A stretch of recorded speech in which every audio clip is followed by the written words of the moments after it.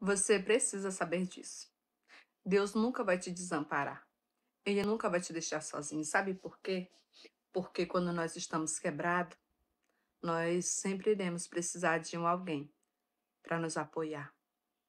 Lembre-se, a vida é feita de altos e baixos, como uma montanha russa. Quando você estiver no alto, não esqueça que um dia também você já esteve lá embaixo.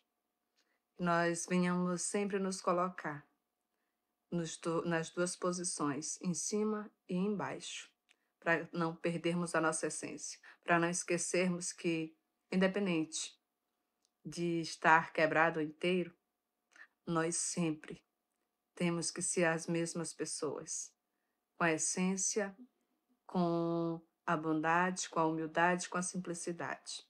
O mundo dá voltas, sabe? E quem está em cima, outrora pode estar embaixo. Lembre-se de que a única diferença entre cada um de nós é o que sentimos aqui dentro.